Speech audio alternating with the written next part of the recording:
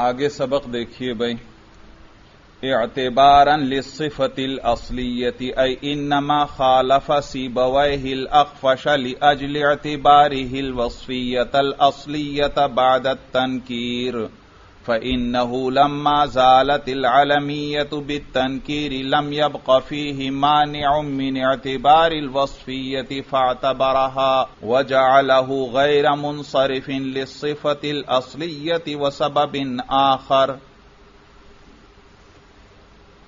भाई गुजश्ता असबाक में एक जबता जिक्र किया था साहिब काफिया ने कि वो असबाब मनासरफ जिनके साथ आलमियत मुअसर होकर जमा हो जाए, जब उनको नकेरा कर दिया जाए, यानी उनसे आलमियत को खत्म कर दिया जाए तो वो मुनसरिफ हो जाते हैं। और फिर उसके बाद अहमरा जैसे लफ्जों का इससे इस्तना करते हुए फरमाया था कि अहमरा जैसे अल्फाज में इमाम सीबोवे ने इख्तिलाफ किया है इमाम अखफश से भाई। अहमरा से मुराद ऐसे अल्फाज हैं जो अलमियत से पहले भी गैर मुनसरिफ थे और उनमें एक सबब वसफ था, दूसरा सबब कोई और सबब भाई तो एक सबब वसफ था। फिर जब इसको आलम बनाया गया तो वसफियत चली गई क्योंकि वसफियत और आलमियत दोनों जमा नहीं हो सकते। वसफ दलालत करता है ज़ात मुबहम पर और अलम दलालत करता है ज़ात मुन पर। या यूँ कहो कि वसफ दलालत करता है उमूम पर और आलम दलालत करता है खसूस पर और एक लफ्ज में एक ही वक्त में उमूम भी हो और खसूस भी हो यह नहीं हो सकता। तो जब आलमियत आई तो वसफियत खत्म हो गई। अब ये लफ्ज अहमरा अलमियत से पहले भी गैर मुनसरिफ था अलमियत के वक्त भी गैर मुनसरिफ है, लेकिन जब अलमियत खत्म करेंगे तो इमाम अखफश जबते के मुताबिक फरमाते हैं कि यह मुनसरिफ हो जाएगा, क्योंकि जिस सबब के साथ भी अलमियत मुअसर होकर जमा हो, जब उस आलमियत को खत्म करते हैं तो वह लफ्ज क्या बन जाता है? मुनसरिफ। लेकिन इमाम सीबोवे इख्तिलाफ करते हैं, ये अहमरा जैसे अल्फाज में, और फरमाते हैं कि अलमियत खत्म कर दें तो भी ये लफ्ज गैर मुनसरिफ रहेगा। तो वो जवाल अलमियत के बाद भी वसफियत असलिया का एतबार करते हैं कि ये असले वजह में चूँकि वसफ था, लिहाजा अब अलमियत खत्म कर देंगे तो उस वसफियत असलिया का एतबार करेंगे। वो इसको कियास करते हैं असवद और अरकम पर। असवद और अरकम आपने पढ़ा था कि असवद अरबी ज़ुबान में हर काली चीज़ के लिए वजह था, लेकिन फिर इन पर इसमियत गालिबाई और ये काले रंग के सांप के लिए इसम बन गए कसरत इस्तेमाल की वजह से भाई। तो अब असवद का लफ्ज जब बगैर करीने के बोला जाए तो इससे काले रंग का सांप मुराद होता है और ये असवद का लफ्ज गैर मुनसरिफ होता है। अगरचे इसके अंदर से वसफियत खत्म हो चुकी है, गलब इसमियत आ चुका है। लेकिन फिर भी फिर भी ये वसफियत असलिया मोतबर है। तो असवद में एक सबब वज़न फेल है और दूसरा वसफियत असलिया। तो जैसे असवद और अरकम के अंदर जवाल वसफियत के बावजूद उसके अंदर वसफियत असलिया का एतबार किया गया। तो इसी तरह इमाम सीबवे जो हैं, अहमरा जैसे लफ्जों में जवाल वसफियत के बावजूद जब आलमियत खत्म करते हैं तो उसमें फिर वसफियत असलिया का एतबार करते हैं और इसको गैर मुनसरिफ कहते हैं। तो इसके अंदर वसफियत असलिया का इमाम सीबवे एतबार करते हैं जवाल वसफियत के बाद भी। और फिर साहिब जामी ने आपको यह भी बतलाया कि वो जो वसफियत है, वो ज़ाहिर होनी चाहिए, खफी नहीं होनी चाहिए कबल आलमियत कबल आलमियत वो वसफियत ज़ाहिर होनी चाहिए, खफी नहीं होनी चाहिए। लिहाजा सकरान अगर किसी का नाम रख दिया जाए। अब सकरान का क्या माना है? जो मदहोश है, जो नशे में है। और इसके अंदर कबल आलमियत भी वसफियत ज़ाहिर है। क्योंकि सकरान का क्या माना? मदहोश। वो शख्स जो नशे में है। तो कबल आलमियत भी यह गैर मुनसरिफ था। एक सबब इसमें वसफ है और दूसरा अलिफनून मजीदतान। फिर इसको अलम बनाया गया। तो वसफियत चली गई। अब दो सबब क्या? एक वसफ और एक अलिफनून मजीदतान। फिर इसके बाद इससे अलमियत खत्म कर दी गई। तो अब भी इमाम सीबोवे के नज़दीक ये गैर मुनसरिफ है। एक सबब वो अलिफ नून मजीदा तान है और दूसरा वो वसफियत असलिया है। तो देखो, वसफियत असलिया का वो एतबार करते हैं, जवाल वसफियत के बाद भी। अलबत्ता वो वसफियत कबल आलमियत ज़ाहिर होनी चाहिए। लिहाजा ताकीद वाला अफआलो निकल गया। ताकीद वाला अफआलो निकल गया, जैसे अजमाऊ भाई अजमाऊ असल में तो ये जमयत के लिए वजह था। ये किसके लिए वजह था? जमयत के लिए वजह था, सिफत था। लेकिन फिर बाद में ये ताकीद के तौर पर इस्तेमाल होने लगा। अब अजमाऊ का लफ्ज अरबी ज़ुबान में ताकीद के लिए इस्तेमाल होता है, लेकिन यह गैर मुनसरिफ है। एक सबब क्या? वज़न फेल। और दूसरा सबब क्या? वसफियत असलिया। फ़िलहाल तो वसफ नहीं, लेकिन असले वजह में क्या था? वसफ। तो गोया इस वक्त इसमें वसफियत ज़ाहिर नहीं है। कौन सी वसफियत का एतबार कर रहे हैं? वसफियत असलिया का। तो अब इसके अंदर वसफियत फ़िलहाल ज़ाहिर नहीं है। अब यह अजमाऊ किसी का नाम रख दिया गया। तो अब यह गैर मुनसरिफ है। अब कौन से दो सबब हैं? एक आलमियत, एक वज़न फेल। अब वसफियत का एतबार नहीं कर सकते क्योंकि वसफियत और आलमियत दोनों मुतजाद हैं भाई। फिर इसके बाद इससे आलमियत को खत्म कर दिया। तो बिल इतफाक मुनसरिफ है यानी जबते के मुताबिक है, क्योंकि अलमियत से कबल इसके अंदर वसफियत ज़ाहिर नहीं थी। अलमियत से कबल यह ताकीद के लिए था, वसफ के लिए नहीं था। इसी तरह अफाल तफजील जो है, उसके इस्तेमाल के तीन तरीके हैं। कभी वो इस्तेमाल होता है मिन के साथ जैद उन अफजल मिन आमरीन और कभी ये अलिफ्लाम के साथ इस्तेमाल होता है, जैसे जैदुनिल अफजलु। और कभी इजाफत के साथ इस्तेमाल होता है, जैसे जैदुन अफजलुल कौमी। तो ये तीन तरीके हैं। इन तीन तरीकों में से सिर्फ़ मीन की बात इन्होंने यहाँ पर की। मीन की बात की, ये मीन याद रखो, कभी लफ्जों में ज़िक्र होता है और कभी ये मीन मुकद्दर होता है। जैसे अल्लाह अकबर देखो, अल्लाह अकबर के अंदर ये जो अकबर है, ये इसमें तफजील है। लेकिन न इस पर अलिफ्लाम है, न इसकी इजाफत हो रही है और न इसके साथ मीन है। तो उसका जवाब ओलमा देते हैं कि मीन यहाँ मुकद्दर है। अय अकबर मीन कुल शईन अल्लाह की जात तमाम चीज़ों से बड़ी है। तो मालूम हुआ ये मीन कभी लफ्जों में होता है और कभी मुकद्दर होता है। तो जब मीन लफ्जों में हो फिर तो इस अफल तफसील के अंदर वसफियत का माना ज़ाहिर है। अब यह किसी का नाम रखा जाए, मसलन असगर मिन आमरीन मैंने किसी का नाम रख दिया। अब इसके साथ मिन तफजीलिया लफ्जों में मौजूद है, जिससे पता चल रहा है कि यह सिफत के लिए है। तो असगर मिन आमरीन ये काबल आलमियत भी गैर मुनसरिफ। इसमें दो सबब कौन से? एक वज़न फेल और एक वसफियत। फिर उसके बाद इसको आलम बनाया गया। तो अब कौन से दो सबब हैं? एक अलमियत है और एक वज़न फेल है। फिर इसको नकेरा बना दिया गया। तो फिर बिल इतफाक ये गैर मुनसरिफ है। क्योंकि अब इसके साथ मीन है तो इसके अंदर वसफियत वाला माना ज़ाहिर है। तो कबल आलमियत भी असगर मीन आमरीन ये असगर लफ्ज क्या था? गैर मुनसरिफ।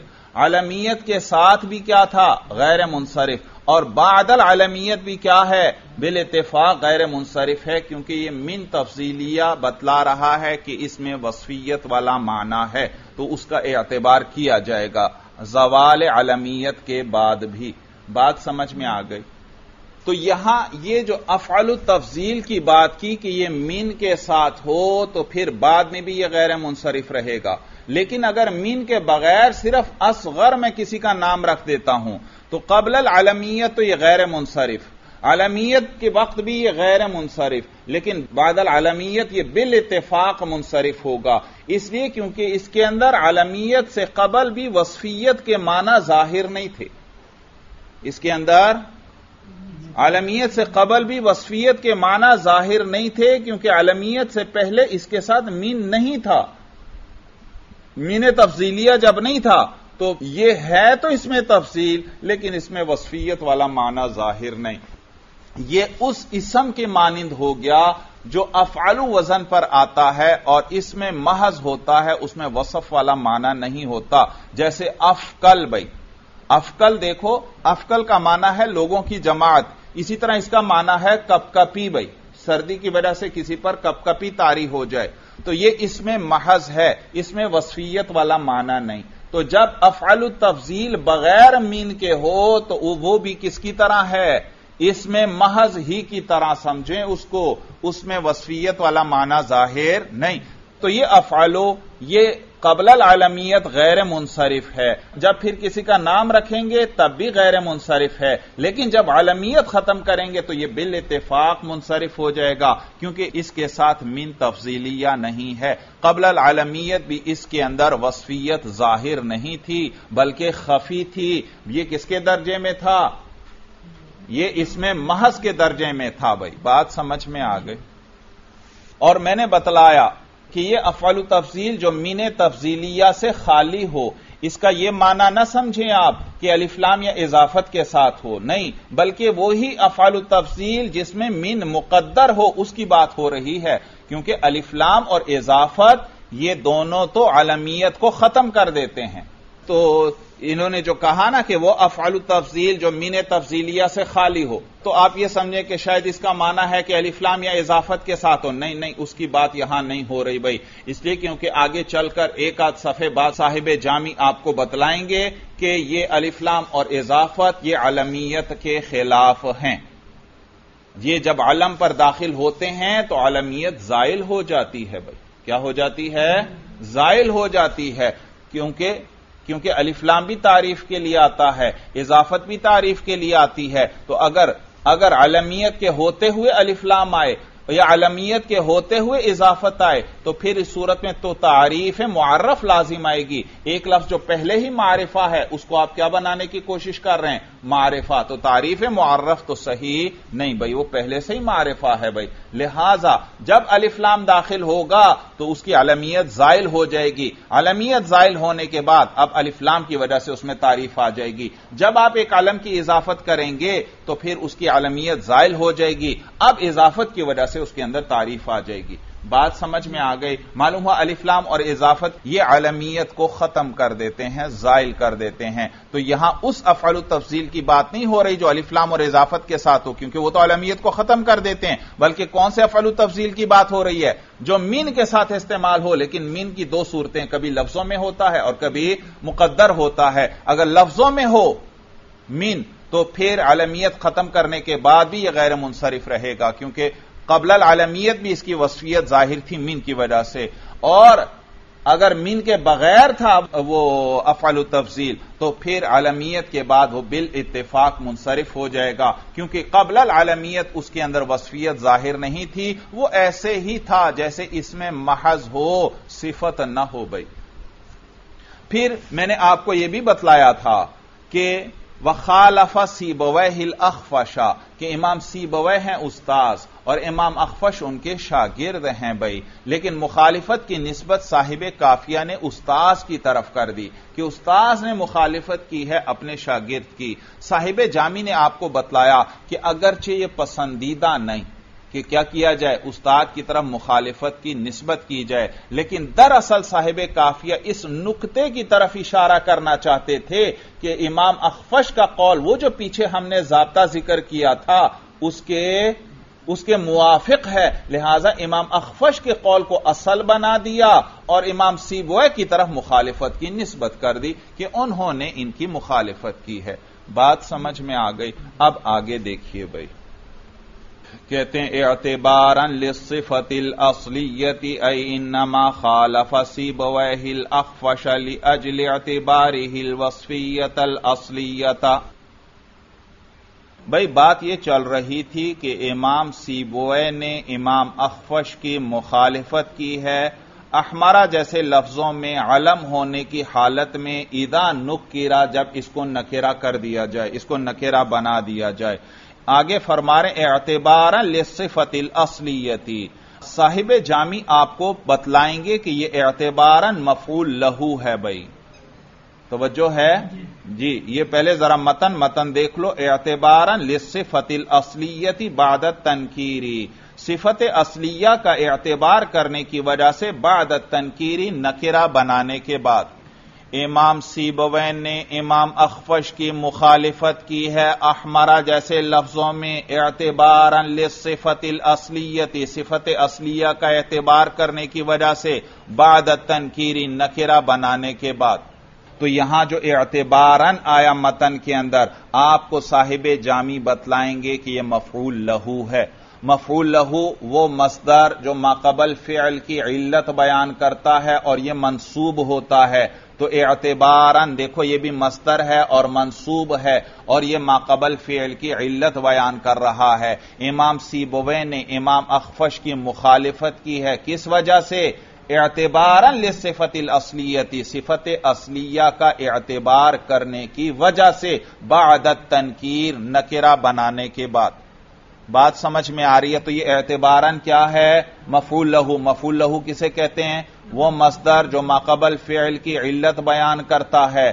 जरब तुहू तादीबन। मैंने उसकी पिटाई की तादीबन अदब सिखाने के लिए। मालूम हुआ जो पिटाई की गई, उसका सबब और उसकी इल्लत क्या थी? अदब सिखाना। तो यहाँ पर भी इसी तरह है कि इमाम सीबवे ने इमाम अखफश की मुखालिफत की है। उसकी वजह क्या है? कहते हैं एतबार लिसिफतिल असलियत, सिफत असलिया का एतबार करने की वजह से। तो ये एतबारन क्या वाक़ हो रहा है? मफूल लहू देखो, साहिब जामी खुद आपको बतलाएँगे। देखिए भाई कहते हैं, एतबारन लिसिफतिल असलियती, सिफत असलिया का एतबार करने की वजह से इन नमा खालफा सीबवहिल अखफशा, यानी इमाम सीबवे ने मुखालिफत की है इमाम अखफश की। मतन में क्या आया था? एतबारन, साहिब जामी क्या तफसीर कर रहे हैं? ली अज एतबार हिल वसफियत अल असलियत। देखा, बतलाना यह चाहते हैं कि एतबारन इल्लत बयान कर रहा है, यानी यह मफूल लहू है। तो कहते हैं, आई इन्नमा खालफा सीबोव हिल अखफशा इमाम. सीबोव ने इमाम अखफश की मुखालफत की है, लि अजल एतबारी ही ये एतबारी ही की हाजमीर इमाम सीबोव को राजे। बवज एतबार करने इमाम सीबोव के अल वसफियत अल असलियत, वसफियत असली। इस वजह से कि इमाम सीबोवे ने वसफियत असलिया का एतबार किया है, बादत तनकीर, नकिरा बनाने के बाद यहाँ तक बात समझ में आ गई कि साहिब जामीन ने एतबारन की तफसीर ली अजल एतबारी ही के साथ की, बतला दिया कि यह मफूल लहू वाक़ हो रहा है। और मफूल लहू ये मकबल फेल की इल्लत बयान करता है। तो ये किस फेल की इल्लत बयान कर रहा है, वो भी साहिब जामी ने साथ ही ज़िक्र कर दिया। क्या कहा? इन नमा खालफसी बोवहिल अखफशा ली अजल एतबार ही यानी ये जो इमाम सीबुमै ने इमाम अखफश की मुखालिफत की है उसकी इल्लत बयान कर रहे हैं साहिब काफिया एतबारन के ज़रिए यहाँ तक बात समझ में आ गई भाई ऊपर देखिए मतन में आया था वखालफा सीबवहिल अखफशा इमाम सीबवे ने इमाम अखफश की मुखालिफत की है साहिब जामी ने बतलाया था कि इमाम सीबवे उस्ताज हैं और इमाम अखफश उनके शागिर्द हैं और ये सीबवे, ये फ़ाइल है खालफा का और अल अखफश मफूल है। चूँकि इमाम अखफश की बात जबते के मुताबिक है, वो फरमाते हैं वो इसम जिसके अंदर अलमियत मुअसर हो, जब उससे अलमियत को खत्म कर दिया जाए तो वो मुनसरफ हो जाएगा। तो इमाम अखफश की बात चूँकि जबते के मुआफिक थी, इसलिए उनके कौल को असल बनाया और मुखालिफत की नस्बत किसकी तरफ़ कर दी? इमाम सीबुवे की तरफ़ कि इमाम सीबुवे ने उनकी मुखालिफत की है। तो मालूम हुआ व खालफा सीबुवे हिल अखफशा। इसके अंदर सीबवे फ़ाइल है खालफा का और अलफशा मफूल है भाई। तो ये इमा, ये साहिब जामी की तकरीर है, जबकि बाज दीगर शारहीन ने यहाँ और तकरीर की है। उन्होंने मुखालिफत की नस्बत इमाम अखफश की तरफ़ की है। वजह यह कि इमाम सीबवे उस्ताद हैं और ये मुस्तहसन नहीं, पसंदीदा नहीं कि मुखालिफत की नस्बत उस्ताद की तरफ़ की जाए कि उस्ताद ने शागिर्द की मुखालिफत की है। बल्कि यूँ कहना चाहिए कि शागिर्द ने उस्ताद की मुखालिफत की है। चुनाचे वो फरमाते हैं कि यह सीबवे ये मफूल है और अल अखफशु इसको रफा के साथ पढ़ेंगे यह फ़ाइल है खालफा का बई। फिर सवाल पैदा होता है कि अगर अल अखफशु ये फ़ाइल है और सीबवे मफूल है तो मफूल को मुकदम क्यों किया? तो वो ज़िक्र करते हैं, वजह यह कि इमाम सीबवे उस्ताद हैं चूँकि। तो इसलिए बतौर अदब के उस्ताद का नाम साहिब काफिया ने मुकदम कर दिया और शागिर्द का नाम उसको मुअखर कर दिया, अगरचे वो फ़ाइल है और फेल के बाद फ़ौरन फ़ाइल का दर्जा होता है भाई। तो मुहशी हजरात जो हैं, वो तरजीह देते हैं साहिब जामी की तकरीर को। मुहशी हजरात फरमाते हैं कि ये जो आगे आया ना एतबार लिसफतिल असलियती। साहिब जामी ने जो तकरीर की, ये उसकी दलील है भाई। साहिब जामी ने क्या किया? सीबोवै को फ़ाइल बनाया और अल अकफश को मफूल बनाया। ये एतबार लिसफतिल असलिया, ये इबारत उनकी दलील है भाई कि ये सीबोवै को क्या बनाएँगे? फ़ाइल बनाएँगे। तो भाई ये किस तरह साहिब जामी की दलील है? तो याद रखो इल्लत बयान करने के लिए अरबी ज़ुबान में लाम इस्तेमाल किया जाता है। यानी लाम तालील के लिए आता है। किसके लिए आता है? अल्लाह तालील का माना है इल्लत बयान करना किसी चीज़ की, किसी चीज़ की वजह बयान करना। और उसके लिए अरबी ज़ुबान में लाम को वजह किया गया है। जब भी किसी चीज़ की इल्लत बयान करनी हो तो उसके लिए लाम को इस्तेमाल किया जाता है अरबी ज़ुबान में। तो जरब तुहू तादीबन यह असल में था जरब तुहू लित तादीबी असल में क्या था? जरब तुहू लित तादीबी मैंने उसकी पिटाई की लित तादीबी अदब सिखाने के लिए। तो अरबी ज़ुबान में इल्लत बयान करने के लिए, तालील के लिए जो है लाम इस्तेमाल होता है। और फिर कभी कभार इस लाम को हजफ कर लेते हैं और उस लफ्ज पर नसब पढ़ते हैं, उसको मंसूब कर देते हैं और उसको मफूल लहू कहते हैं। बात समझ में आ रही है। तो इस्लाम को फिर कभी हजफ कर लेते हैं। लेकिन उसके हजफ करने के लिए तीन शर्तें हैं। वो तीनों पूरी होंगी तो फिर लाम को हजफ करना और उस लफ्ज को मंसूब करके मफूल लहू बनाना जायज़ होगा। पहली शर्त यह कि वो लफ्ज जिस पर लाम दाखिल था, वो क्या होना चाहिए? मसदर होना चाहिए। दूसरी शर्त यह है कि ये जो, जिसको आप मफूल लहू बनाना चाहते हैं, और माकबल में जो फेल गुजरा है, दोनों का फ़ाइल एक ही जात होनी चाहिए। दोनों का फ़ाइल एक ही जात होनी चाहिए। ये लफ्ज जिसको आप मफूल लहू बनाना चाहते हैं, ये मफूल लहू क्या करता है? माकबल फेल की इल्लत बयान करता है। तो उसको, माकबल वाले फेल को कहेंगे, फेल मुअल्लल भी क्या कहेंगे? फेल मुअल्लल भी मैंने आपको बतलाया अल्लाह तालील का माना होता है इल्लत बयान करना। तो मुअल्लल, वो चीज़ जिसकी इल्लत बयान की जाए। और फेल मुअल्लल भी यानी वो फेल की जिसकी इल्लत मफूल लहू के साथ बयान की गई। तो माकबल में जो फेल आया, उसको फेल मुअल्लल भी कहेंगे। क्या कहेंगे? क्या माना फेल मुअल्लल भी वो फेल जिसकी इल्लत आगे मफूल लहू के ज़रिए बयान की जा रही है। तो उस लाम को हजफ करने और नसब करने की कितनी शर्तें हैं? तीन शर्तें हैं। पहली शर्त यह कि वो मस्तर होना चाहिए और दूसरी शर्त यह कि फेल मुअल्लल भी और मफूल लहू, इन दोनों का फ़ाइल एक जात होनी चाहिए। और तीसरी शर्त यह कि दोनों का जमाना भी एक होना चाहिए। दोनों का जमाना भी फिर दोहराएँ। पहली शर्त क्या? पहली शर्त यह कि वो जिस पर लाम दाखिल है, जिसको आप मफूल लहू बनाना चाहते हैं, वो मस्तर होना चाहिए। दूसरी शर्त क्या?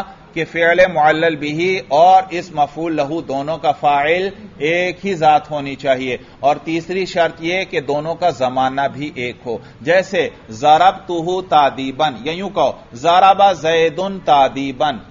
जराबा जैदन तादीबन। जैद ने जरब लगाई, जैद ने पिटाई की अदब सिखाने के लिए। तो तादीबन इस वक्त तो मंसूब है, लेकिन असल में यह मजरूर था, इस पर लाम जार्रा दाखिल था, क्योंकि इल्लत बयान करने के लिए अरबी ज़ुबान में लाम इस्तेमाल होता है। तो जराबा जैदन तादीबन यह असल में क्या था? जराबा जैदन ले तादीबी। अब लाम को हजफ करके आप तादीबन को मंसूब करना चाहते हैं तो वो तीन शर्तें पूरी होंगी तो आप मंसूब कर सकते हैं, वरना नहीं। पहली शर्त क्या थी कि वो लफ्ज क्या हो? मसदर होना चाहिए, और तादीब भी क्या है? मसदर, पहली शर्त पूरी। दूसरी शर्त क्या थी कि वो फेल मुअल्लल भी ही और इस मफूल लहू, दोनों का फ़ाइल एक ही जात हो। जाराबा जैदुन तादीबन, ये जरब लगाने वाला कौन? जैद, और ये अदब सिखाने वाला भी कौन? जैद मालूम हुआ दोनों का फ़ाइल एक ही जात है। दूसरी शर्त भी पूरी। तीसरी शर्त क्या है कि दोनों का जमाना एक होना चाहिए। देखो, जर्ब और तादीब दोनों का जमाना भी एक ही है। जो जो जर्ब लगती जा रही है, वो अदब सीखता जा रहा है। बात समझ में आ रही है? जर्ब है तो सबब और तादीब है मुसब्बब। जर्ब लगेगी तो वह अदब सीखेगा। तो जर्ब मुकद्दम है जात के एतबार से। जरब सबब है और तादीब क्या है? मुसब्बब है और सबब पहले होता है और मुसब्बब बाद में लेकिन यहाँ जमाने के एतबार से जरब पहले नहीं कि जरब का जमाना पहले है और तादीब का जमाना बाद में है, बल्कि जमाना दोनों का एक है। जरब सिर्फ़ अपनी जात के एतबार से मुकदम है, जमाने के एतबार से मुकदम नहीं। जिस जमाने में जो जो जरब लगती जा रही है, उसी जमाने में वो अदब भी सीखता जा रहा है। ये इसी तरह है, जैसे चाबी घुमाएँगे तो ताला खुलेगा। चाबी का घुमाना सबब और ताले का खुलना मुसब्बब लेकिन दोनों का जमाना एक ही है। चाबी का घुमाना जात के एतबार से तो ताले के खुलने पर मुकदम है। जमाने के एतबार से मुकदम नहीं है, बल्कि जो जो चाबी घूमती जा रही है साथ साथ ताला खुलता जा रहा है। तो चाबी घुमाने को सिर्फ़ तकदम जाती हासिल है तकदम जमानी हासिल नहीं। ये इसी तरह है, जैसे सूरज निकलता है तो दिन हो जाता है। सूरज का निकलना है सबब, और दिन का होना है मुसब्बब। लेकिन सूरज का निकलना और दिन का होना दोनों का जमाना एक ही है। तो सूरज के निकलने को सिर्फ़ जात के एतबार से तकदम हासिल है, जमाने के एतबार से तकदम हासिल नहीं। जो जो सूरज निकलता जा रहा है साथ साथ दिन होता जा रहा है। तो यहाँ पर भी जराबा जैदुन तादीबन, जरब और तादीब दोनों का जमाना एक है। जात के एतबार से जरब मुकदम है, लेकिन जमाने के एतबार से मुकदम नहीं, दोनों का जमाना एक है। तो तीनों शर्तें पूरी हो गई। लिहाजा जराबा जैदन लिद तादीबी अब लाम को हजफ कर देंगे और तादीबन को मनसूब पढ़ेंगे। तो क्या बन गया? जराबा जैदन, तादीबन। देखो कलाम मुख्तसर हो गया। लाम एक हर्फ था, उसको हजफ कर दिया गया। तो किसी लफ्ज को मफूल लहू बनाना हो और लाम को हजफ करके उस पर नसब पढ़ना हो तो कितनी शर्तें हैं? तीन शर्तें। पहली शर्त क्या? कि वह मस्तर हो। दूसरी शर्त यह कि फ़ेल मुअल भी और इस मफूल लहू दोनों का फ़ाइल एक ही जात हो। और तीसरी शर्त यह कि दोनों का जमाना एक ही होना चाहिए। यहाँ पर भी देखिए भाई एतबारन लिसिफतिल असलियती एतबारन यह मफूल लहू है। किसके लिए? खालफा फेल के लिए यह उसकी इल्लत बयान कर रहा है। और देखो यहाँ तीनों शर्तें पूरी हैं। पहली शर्त क्या? कि मस्तर हो, एतबार भी क्या है? मस्तर है। दूसरी शर्त क्या? कि फ़ेल मुअल्ल भी ही और मफूल लहू दोनों का फ़ाइल एक होना चाहिए। फ़ेल मुअल्ल भी का फ़ाइल कौन? किसको बनाया? साहिब जामी ने सी बुवै को। और सिफत असलिया का एतबार तनकीर के बाद कौन करते हैं? इमाम सीबवे मालूम हुआ, ये एतबार तो इमाम सीबवे करते हैं। जब एतबार के फ़ाइल इमाम सीबवे हैं तो खालफा का फ़ाइल भी किसको बनाना पड़ेगा? सीबवे को। यह है दलील उनकी भाई। और दोनों का जमाना भी एक है। जिस जमाने में मुखालिफत की है, उस जमाने में एतबार किया है भाई। बात समझ में आ गई। तो मुहशी हजरात फरमाते हैं कि ये एतबारन दलील है साहिब जामी की कि खालफा का इसनाद सीबवे की तरफ़ किया जाएगा, अखफश की तरफ़ नहीं। क्योंकि अगर खालफा का इसनाद अखफश की तरफ़ कर दें, फिर तो खालफा का फ़ाइल हुआ अखफश। और एतबारन का फ़ाइल कौन है? एतबार किसने किया है? इमाम सीबुवे ने। फिर तो एतबारन को मफूल लहू बनाना ठीक ही नहीं। फिर तो इसको लाम के साथ ज़िक्र करना चाहिए था बगैर लाम के नहीं। बात समझ में आ गई। और ये याद रखना वो दूसरे ओलमा जिन्होंने खालफा का इसनाद अखफश की तरफ़ किया अखफश को फ़ाइल बनाया वो फिर इस एतबारन को इसको वो हाल बनाते हैं सीबवे से या इसको वो फिर मफूल मुतलक बनाते हैं। क्या बनाते हैं? मफूल मुतलक बनाते हैं। हाल कैसे बनेगा? हाल सीबवे से बनाया। और हाल का हमल किस पर होता है? जुलहाल पर। और जुलहाल तो सीबुवे जात है और एतबारन तो मस्तर है। और मस्तर का हमल तो जात पर सही नहीं। तो उसका जवाब देते हैं कि मस्तर कभी इसमें फ़ाइल और इसमें मफूल के माना में भी इस्तेमाल होता है। तो यहाँ एतबार बमाने मोतबिर के है। तो वह खालफा सीबवै। तो इमाम सीबवै की मुखालिफत की है। इमाम अखफश ने मोतबरन इस हाल में कि इमाम सीबे एतबार करने वाले हैं लिसिफत असलियती। किसका सिफत असली। तो वो इसको हाल बनाते हैं। या इसको वो मफूल मुतलक बनाते हैं। मफूल मुतलक किसे कहते हैं? वो मस्तर जो माकबल फेल के माना में हो, जरब तो जरबन, ये जरबन क्या है? मफूल मुतलक है। तो यहाँ इस एतबारन के लिए वो फेल महजूफ निकाल लेते हैं। एतबारा सीबवे एतबारन इमाम सीबवे ने एतबार किया है। बात समझ में आ गई। या आप इस एतबारन को खालफा से बराह रास्त मफूल मुतलक भी बना सकते हैं। किससे? खालफा से मफूल मुतलक बना सकते हैं। कोई एतबारा निकालने की ज़रूरत नहीं है, बल्कि खालफा से इसको मफूल मुतलक बना लो। भाई, खालफा से कैसे मफूल मुतलक बनेगा? मफूल मुतलक तो वो मसदर होता है जो माकबल फेल के माना में हो। तो यहाँ तो माकबल में फेल खालफा है। खालफा का माना और, एतबार का माना और। ये उसे मफूल मुतलक कैसे बनेगा? कहते हैं, भाई ये जो वसीयत असलिया का एतबार करना, ये एक नौ की मुखालफत ही तो है। वसफियत असलिया का एतबार किया है किसने? इमाम सीबवे ने। तो यह एतबार करना क्या है? मुखालिफत ही तो है। मुखालिफत की एक नौ है, एक किस्म है। तो चाहे खालफा से ही इसको मफूल मुतलक बना दें, चाहे इसके लिए एतबारा फेल महजूफ निकाल लें। बात समझ में आ गई? तो बहरहाल साहिब जामी की तकरीर ज़्यादा आसान और वाज है भाई। एतबारन को मफूल लहू बना दें और मुखालिफत की नस्बत किसकी तरफ़ कर दें? इमाम सिबवे की तरफ़। और वो भी अगरचे नापसंदीदा है, लेकिन एक नुक्ते की वजह से वो इसनाद इमाम सिबवे की तरफ़ किया गया। और वो नुकता क्या था?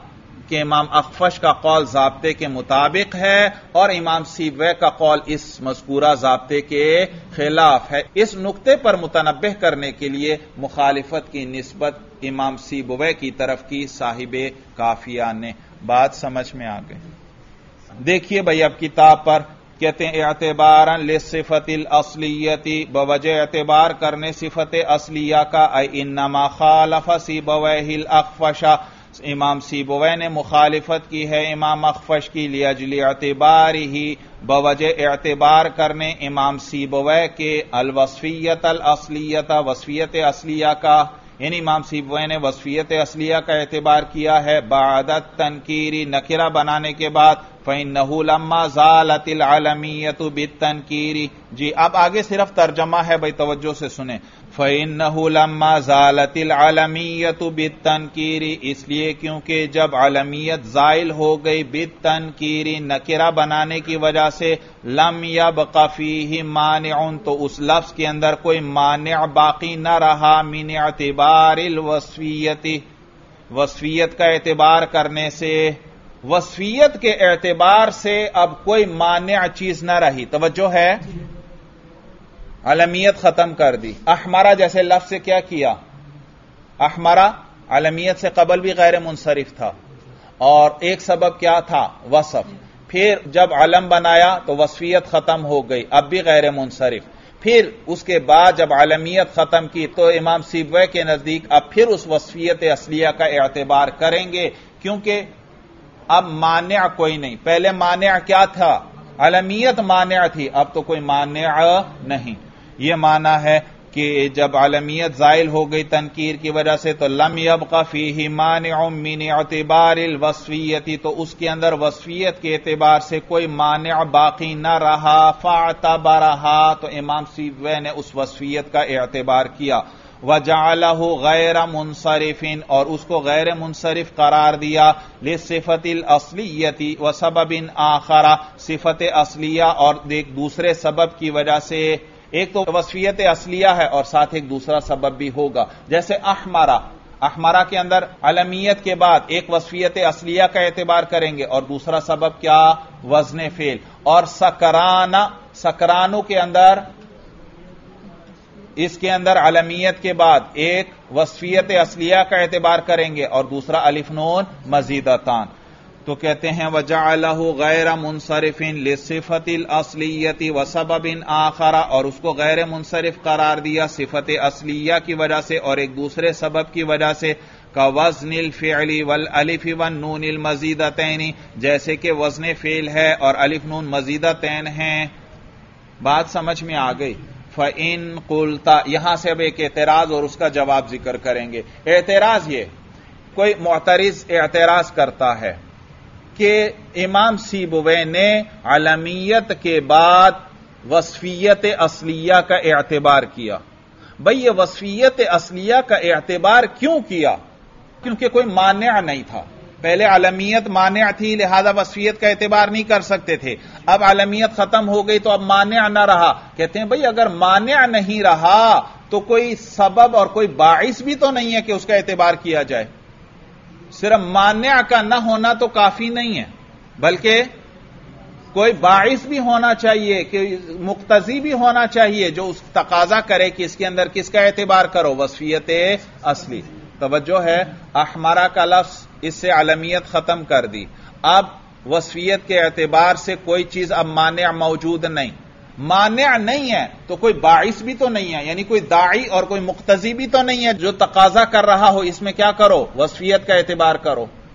तो कोई अगर मान्य नहीं है तो कोई बाइस और दाई और मुख्तजी भी नहीं है तो फिर क्यों इमाम सी बोवे ने इसके अंदर वसफियत असलिया का एतबार किया और इसकी वजह से इसम को अपनी असल से निकालकर, यानी मुनसरिफ होने से निकालकर गैर मुनसरिफ करार दिया? इश्काल समझ में आ रहा है। फ़िन कुलता कमा अन्नहु लामान आमिन अतबारिल वसवीयत असलियती के जैसे कि कोई मान्य नहीं है वसवियत असलिया का एतबार करने से जैसे वसफियत असलिया का एतबार करने से कोई मान्य चीज़ नहीं है तो ला एतबार ऐजन तो इसके एतबार पर कोई बाइस भी नहीं है, कोई मुख्तजी चीज़ भी नहीं है, जो तकाजा कर रही हो कि क्या करो वसफियत असलिया का एतबार करो। फलीमा अतबारा तो फिर इमाम सीबुवे ने क्यों वसफियत असलिया का एतबार किया? वजहब इलामा हुआ खिलाफुल असली। और गए उस बात की तरफ़ जो खिलाफुल असल है आनी मन असरफी यानी कि मन सर्फ। तो कीला जवाब दे रहे हैं। कहते हैं, कीला अलबाइसु अलबारी हम तिनाउ असवद व अरकमा मा जवाल वसफियत अनहुमा तो कहते हैं, जवाब इसका यह दिया गया कि वो चीज़ जो बाइस बनी कि इमाम सीबे इसमें वसफियत असलिया का एतबार करें, वो असवद और अरकम का गैर मुनसरिफ होना है। असवद और अरकम, इनसे वसफियत जायल हो चुकी, अब ये असवद काले रंग के सांप का इसम बन चुका और अरकम चतकुबरे रंग के सांप का इसम बन चुका तो इनसे वसफियत जायल हो चुकी है, लेकिन फिर भी अरब इनको गैर मुनसरिफ पढ़ते हैं। मालूम हुआ इसके अंदर वो वसफियत असलिया का एतबार करते हैं। क्या करते हैं? वसफियत असलिया का एतबार करते हैं। तो जब असवद और अरकम में जवाल वसफियत के बाद भी उस वसफियत का एतबार किया गया तो अहमर के अंदर भी अलमियत की वजह से जो वसफियत जायल हो गई थी, अब जवाल वसफियत के बाद भी क्या करना चाहिए? जब अलमियत खत्म हो, उस वसफियत ज़ाइला का एतबार करना चाहिए। तो इमाम सीब अहमरा जैसे लफ्जों को कियास करते हैं असवद और अरकम पर। और असवद और अरकम में तो बिल इतफाक जो है जवाल के बाद भी वसफियत का एतबार किया गया है। तो अहमर में भी क्या करना चाहिए? जवाल के बाद भी वसफियत का एतबार करना चाहिए। जवाब समझ में आ गया। कीला तो कहा गया है, यानी जवाब के अंदर कहा गया है कि अलबाइस अतबारिहा कि वो चीज़ जो बाइस है इस वसवियत का एतबार करने पर, वो इम्तना असवद व अरकमा, वो असवद और अरकम का मुमतन होना है, सर्फ से, यानी असवद और अरकम का गैर मुनसरिफ होना है माजवाल वसफियत अनहुमा हीन इजिन, बावजूद इसके कि वसफियत जायल हो चुकी है, इन दोनों से हीन इजिन उस वक़्त उस वक़्त वसफियत जायल हो चुकी है। अब तो ये सांपों के नाम बन चुके हैं भाई। वसफियत तो जायल हो चुकी है। फिर भी जवाल वसफियत के बाद भी उस वसफियत का एतबार किया जा रहा है। तो अहमर के अंदर भी जवाल वसफियत के बाद उसका एतबार करना चाहिए। आगे साहिब जामी फरमाते वफी ही बहसुन और इसके अंदर बहस है। इसके अंदर इश्काल क्या हुआ था? इश्काल यह हुआ कि वसफियत जब एक दफ़ा जायल हो चुकी है तो इमाम सीबवे उसका एतबार क्यों कर रहे हैं? अगर मान्या कोई नहीं है तो कोई दाई भी तो कोई नहीं है कि उसका एतबार किया जाए। तो उसका जवाब किसी ने क्या दिया कि वो किस पर कयास करते हैं? असवद और अरकम पर कयास करते हैं। उसके अंदर जवाल के बाद भी वसफियत का एतबार किया गया तो यहाँ भी जवाल के बाद वसफियत का एतबार करना चाहिए। तो साहिब जामी अब इस जवाब को रद्द करेंगे और बतलाएँगे कि नहीं भाई असवद और अरकम और अहमर दोनों में फ़र्क है भाई। अस्वद और अरकम में वसफियत पूरी तरह जायल नहीं हुई। वसफियत का असर अभी भी मौजूद है। इसलिए क्योंकि अस्वद हर चीज़ का नाम नहीं बना, काले रंग के सांप का नाम बना तो उसमें देखो काला रंग अभी भी है। असवद भी किसके लिए वजह था? काले रंग की चीज़ों के लिए। और यह सांप भी कैसा है? काला है। तो जब इस सांप का नाम अस्वद बन गया तो वसफियत पूरे तौर पर खत्म नहीं हुई। वसफियत का असर अभी भी बाकी है। इसी तरह अरकम हर उस चीज़ को कहते थे जिसमें काला और सफ़ेद दोनों रंग हों। और अब ये सांप का इसम बन गया, लेकिन हर सांप का इसम नहीं बना। उस सांप का इसम बना है जिसमें सफ़ेद रंग भी होता है और काला रंग भी होता है। तो अभी भी इस दोनों के अंदर वसफियत का असर मौजूद है। जबकि अहमर जब किसी का नाम रखा गया, उससे तो वसफियत बिल्कुलिया खत्म हो गई, पूरे तौर पर खत्म हो गई। तो दोनों में फ़र्क है। क्या फ़र्क है? कि असवद और अरकम जब सांपों के नाम बन गए, तब भी वसफियत पूरे तौर पर खत्म नहीं हुई। अभी भी वसफियत का असर, वसफियत की बू इनके अंदर बाकी है, क्योंकि असवद काले सांप को कहते हैं, हर सांप को नहीं। और अरकम चतकुबरे सांप को कहते हैं, हर सांप को नहीं। तो इनके अंदर वसफियत का असर अभी भी बाकी है। और जबकि अहमर जब किसी का नाम रखा जाए, अलम रखा जाए तो अलम के अंदर तो माना का लिहाज नहीं होता।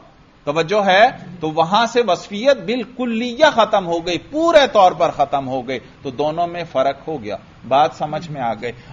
तो कहते हैं वफी ही बहसुन, और इसके अंदर बहस है लिअल वसफियत लम तजुल अनहुमा बिल्कुलियती इसलिए क्योंकि वसफियत जो है, लम तजुल अनहुमा, वो इन दोनों से, यानी असवद और अरकम से जाइल नहीं हुई। जाल या जूलू का माना जाइल होना तो लम तजुल पढ़ें इसको भाई लम तजुल ले अन वसफियत लम तजुल अनहुमा, इसलिए क्योंकि वसफियत जाइल नहीं हुई, असवद और अरकम से बिल्कुलियती पूरे तौर पर बलबकिया फीहिमा शाइबतुम मिनल वसफियती। शाइबा कहते हैं आमेजिश को भाई, मिलावट भाई। बल बकिया फीहिमा शाइबतुम मिनल वसफियती, बल्कि इन दोनों के अंदर वसफियत की आमेजिश बाकी है। इन दोनों में वसफियत की आमेजिश बाकी है या यूँ का असर बाकी है। बल बकिया फीहिमा शाइबतुम मिनल वसफियती, बल्कि इन दोनों में वसफियत का असर बाकी है। लिअन्नल असवदा, इसलिए क्योंकि असवद जो है, इसमुन लिलहैयत सौदा वो नाम है काले सांप का।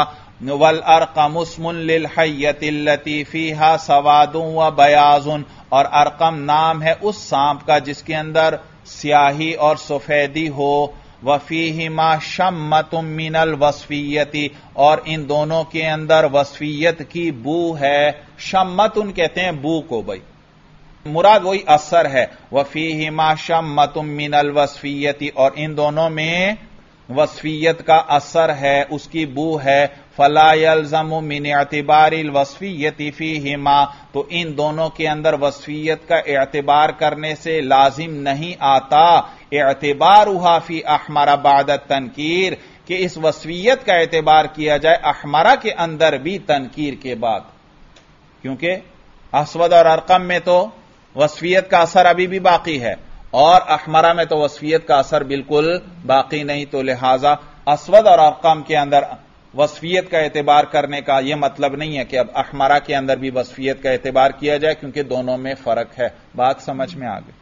तो कहते हैं फलायल जमुमिन एतबार वसफियती फ़ी आपस लाजिम नहीं आता असवद और अरकम के अंदर वसफियत का एतबार करने से एतबार हुआ फ़ी अहमरा बादत तनकीर के इस वसफियत का एतबार किया जाए अहमरा के अंदर भी तनकीर के बाद, लिअन्नहा कद जालत बिल्कुलियती इसलिए क्योंकि अहमरा के अंदर वसफियत जो है, कद जालत बिलकुल्लियत ये पूरे तौर पर जायल हो चुकी है, खत्म हो चुकी है। इसका कोई असर भी बाकी ना रहा, जबकि असवद और अरकम में वसफियत का असर बाकी था। वह अमल अखफश, और बाकी इमाम अखफश जो है, फजाहबा इला पस वो इस बात की तरफ़ गए हैं कि अन्ना हो मुनसरिफ उनकी यह अहमर जैसे अल्फाज आलमियत के बाद जब इनको नकेरा बना दिया जाए तो ये मुनसरिफ हैं। फ़ैनल वसफ़ियत कद जालत बिल आलमियती। इसलिए क्योंकि जो वसफ़ियत है, वो आलमियत की वजह से जायल हो चुकी है। वल आलमियत अब तनकीरी और आलमियत जो है, वो तनकीर की वजह से जायल हो गई। अहमरा गैर मुनसरिफ था, इसमें वसफ़ियत थी, आलमियत से पहले। फिर जब आलम बनाया तो वसफ़ियत क्या हो गई? जायल फिर उसके बाद आलमियत आपने खत्म की तो आलमियत भी क्या हो गई? जायल अब दोबारा वसफियत का एतबार नहीं करेंगे और अब लफ्स मुनसरिफ हो जाएगा। बात समझ में आ गई। कहते हैं फ़ैनल वसफियत कद जालत बिल आलमियती. इसलिए क्योंकि वसफियत जो है, वो तहकीक आलमियत की वजह से जायल हो गई। वल आलमियत अभी तनकीरी और आलमियत जो है, वो नकिरा बनाने की वजह से जायल हो गई। वह लातबरमिन गैर जरूरतिन। और वो जो जायल हो जाए, खत्म हो जाए, उसका एतबार नहीं किया जाता। मिन गैर जरूरतिन, बगैर ज़रूरत के। फलम यब कफी ही इल्ला सबब वाहिदुन। बस बाकी नहीं रहा इसके अंदर, मगर एक ही सबब। इस अहमारा में अब आलमियत के बाद आलमियत खत्म करने के बाद अब इसमें एक ही सबब है। हुआ वजनुल फेली अलिफ हुआ नून। वो वज़न फेल और अलिफ नून है।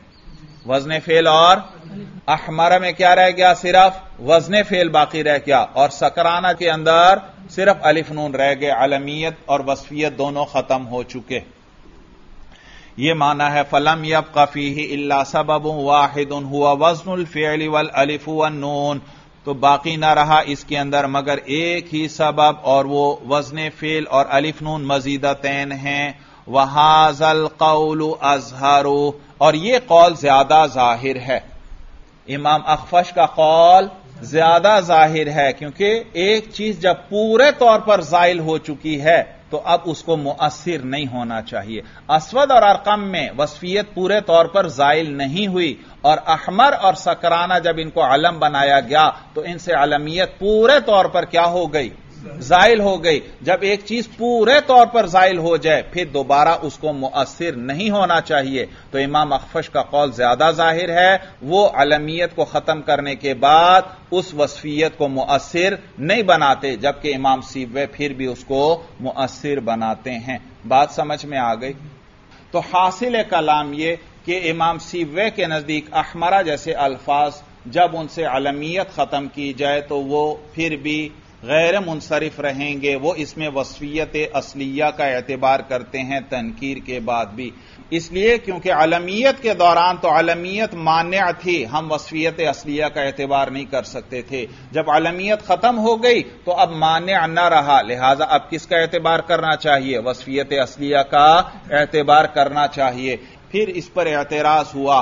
कि जब अहमरा को नकेरा बना दिया गया तो अगर इस वक्त वसफियत के लिए कोई मान्य नहीं मौजूद तो कोई बाइस भी तो मौजूद नहीं है। किस वजह से इमाम सीफ ने इसके अंदर वसफियत का एतबार किया और उसकी वजह से इसम को उसकी असल से निकाल कर गैर मुनसरिफ करार दे दिया। तो उसका जवाब दिया कि भाई दरअसल उन्होंने इसको कयास किया है असवद और अरकम पर। असवद और अरकम के अंदर वसफियत जायल हो गई थी, लेकिन फिर भी उसके अंदर उस वसफियत असलिया का एतबार किया गया और असवद और अरकम दोनों गैर मुनसरिफ हैं अरबी ज़ुबान में। तो साहिब जामी ने वफी ही बहसुन के ज़रिए फिर इस बात को रद्द किया कि नहीं भाई, अहमर को असवद और अरकम पर कयास नहीं किया जा सकता। असवद और अरकम जब इन पर गलब इसमियत आ गया, फिर भी इनके अंदर वसफियत का कुछ ना कुछ असर मौजूद है, क्योंकि असवद किसी और चीज़ को नहीं कहते, काले रंग के सांप को कहते हैं। तो देखो, वो भी काला ही है, उसमें भी काला रंग है। और अरकम किसी और चीज़ का नाम नहीं रखा, बल्कि चतकुबरे सांप का नाम रखा भाई। तो उसके अंदर भी सफ़ेद और काला दोनों रंग मौजूद हैं। तो मालूम हुआ, असवद और अरकम, जब इन पर गलब इसमियत आ गया तो भी इनके अंदर वसफियत वाला असर अभी भी मौजूद है। जबकि अहमर जब इसको अलम बनाया गया तो अलम के अंदर माना मलहूज नहीं होता।